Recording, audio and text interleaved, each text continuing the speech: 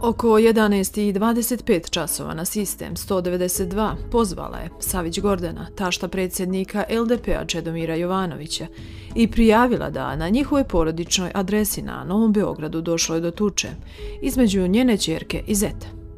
Policija je odmah izašla na teren, na licu mesta zatekli su kućnu spremačicu Sandru koja je negirala da je bilo tuče. Ona je izjavila da su Čedomir i Jelena izašli iz stana pre pola sata. Lideru LDP-a Čedomiru Jovanoviću u policijskoj stanici na Novom Beogradu određeno je zadržavanje do 24 sata, ali zbog nepristojnog parkiranja i pozitivnih testova na narkotike i alkohol. Kako saznajemo, Jovanović je bio negativan na ove substance, sem na lek bromazepa. Jovanović je danas dao izjavu policiji nakon što je jutros u njihovom porodičnom domu prijavljeno nasilje, a tako je podvrgnut testiranju.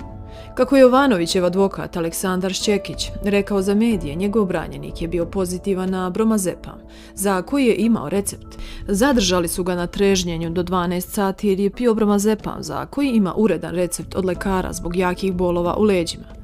Negativan je na kokain, narkotike, alkohol, rekao je Šćekić za medije.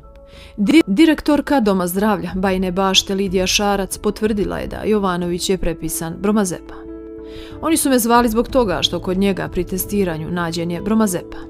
S obzirom na to da se on trenutno leči i da je u terapiju uključen bromazepam, pod kontrolom, to je razlog zašto ga ima. On se kontroliše što se tiče lečenja i bromazepama. Dobio je sve instrukcije što se toga tiče. Činjenica je da je koristio taj lek, da to koristi dosta ljudi zbog različitih stvari. I kada se kontrolisano koristi, on nema štetna dejstva. Mada sve te substance se svrstavaju u opojne droge, ali samo kada nisu kontrolisane. Ja sam poslala policiji da on pije taj lek, kaže lekarka.